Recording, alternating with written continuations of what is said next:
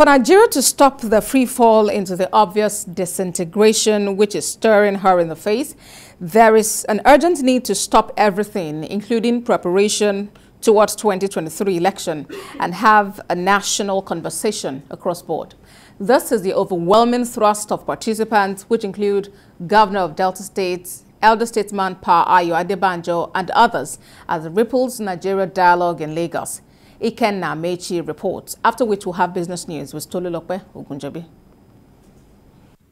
It is the second edition of Ripples Nigerian Dialogue with the theme Rebuilding Trust in a Divided Nigeria as the Delta State Governor sets the ball rolling with his keynote presentation which chronicled how mistrust among Nigerians widened despite united front to fight for independence.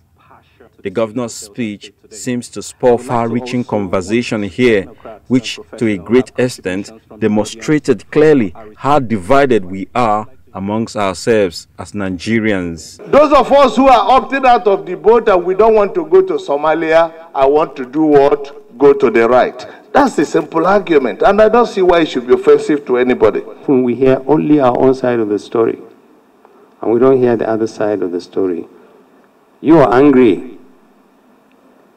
And you think you be, one part of the country is cheating. We are angry too. Every speaker tried to proffer solution based on personal perspective of the country, but what is key is that they all want a better nation than what they see now. What you have to do, to do is clear. Do the election, do constitution review now, get every federating units, all the principal parties in Nigeria, sit down. Let us agree on how to live together. The Nigerian constitution, presently the one we are using, irrespective of the number of amendments that introduced them have done, must be struck down to allow for a we the people constitution. I love this country more than life itself because this country was built on the sweat, blood, and life of many of our forebears. The only way we honor them, make it better.